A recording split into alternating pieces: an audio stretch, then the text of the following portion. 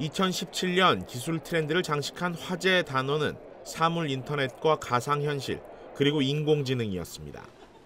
이 중 이미 우리 실생활에 적용된 것도 많습니다. Eventually, our entire ecosystem is just going to be permanently connected. 여전히 아직은 생소한 기술들도 있습니다.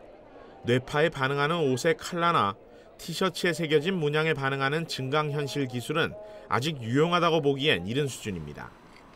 한편으론 더 이상 무거운 악기를 들고 다닐 필요가 없다는 단순한 이유로도 작은 아이디어 하나가 매우 유용해질 수도 있습니다. 포장 또는 스티커 없이 농산물에 직접 브랜드를 새길 수도 있게 됐습니다. 증강현실과 인공지능을 통해 내 몸을 진단하고 치료하는 날도 머지않았습니다.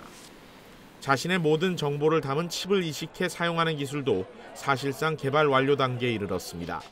문을 열거나 기차를 탈 때도 지갑이나 스마트폰 하나 없이 모든 결제와 정보 제공이 가능해졌습니다.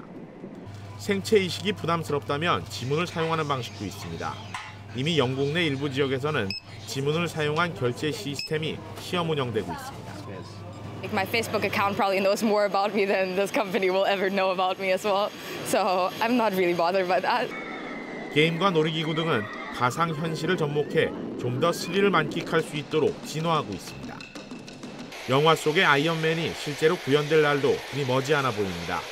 관건은 몸에 장착한 추진체의 균형인데 이 역시 이미 완성 단계에 이르고 있습니다. 그 밖에 뮤지컬 공연과 비보이 댄스 등 공연 분야에서도 첨단 기술들이 입체적 효과를 높이는 데 활용되고 있습니다. 내년에는 어떤 새로운 기술들이 세상을 깜짝 놀라게 할까? 일반적인 상상을 뛰어넘지 못하면 더 이상 트렌드가 될 수 없다는 점만은 분명해 보입니다.